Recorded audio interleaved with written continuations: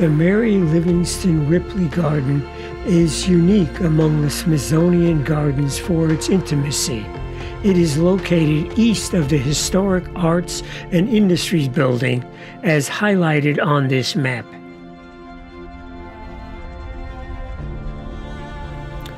For thousands of visitors to the National Mall each year, the Mary Livingston Ripley Garden is a quiet oasis for retreat from the activities on the mall. Its unusual curvilinear design, which is the work of a noted Washington, D.C. architect, Hugh Newell Jacobsen, along with a profusion of flowers in raised beds and formality.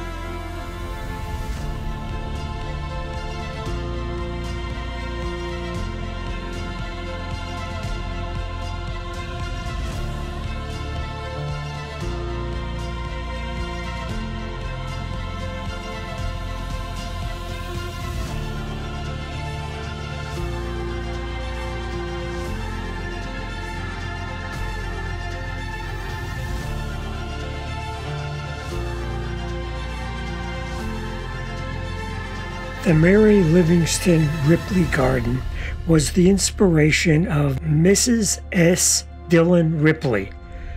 She was a lifelong plant collector and scholar, an active gardener, and wife of the Smithsonian Institute's eighth secretary.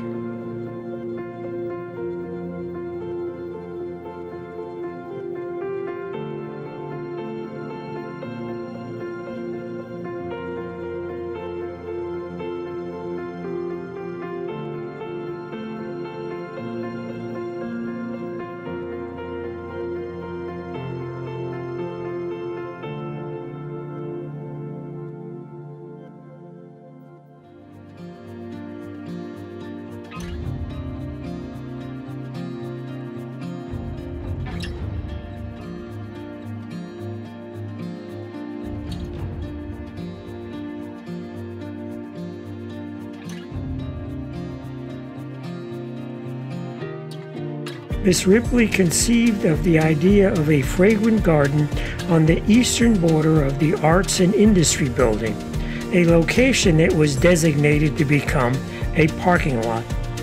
In 1978, Miss Ripley persuaded the Women's Committee of the Smithsonian Association, which she had founded in 1966, to support the garden. In 1998, the Women's Committee recognized their founder and friend by naming the garden after her. The garden comprises more than 200 varieties of plants in hanging baskets, borders, and raised serpentine beds flanked by curvilinear walkways. Plantings are augmented seasonally with annuals and exotics. There are two entrances to the Mary Livingston Ripley Garden.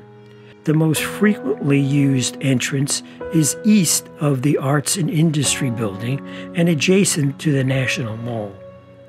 The curvilinear flower beds line the main walkway leading to the century old large acanthus fountain.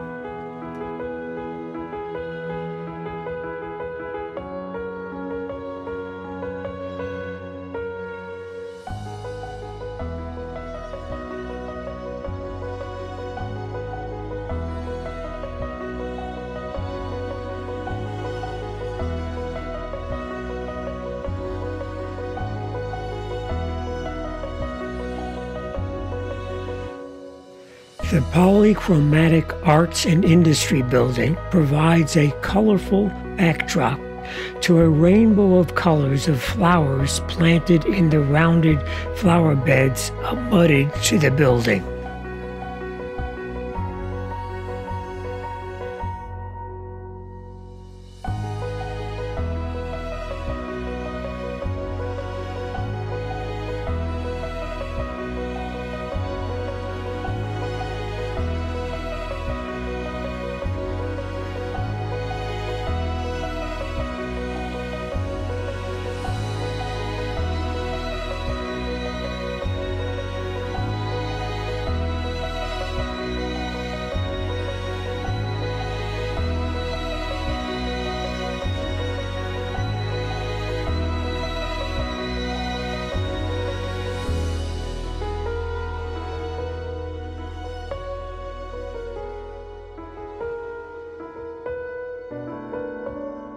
The entrance from Independence Avenue is less obvious to passerby.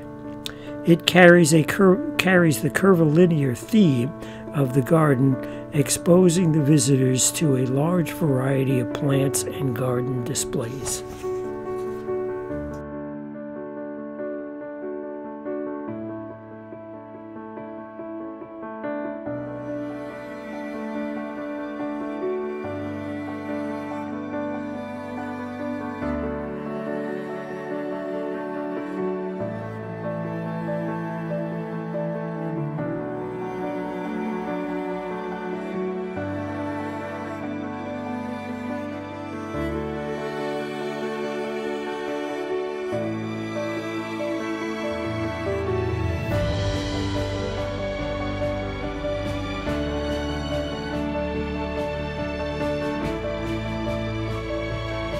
Many of the plants are labeled throughout the garden, and this information is augmented by interesting displays.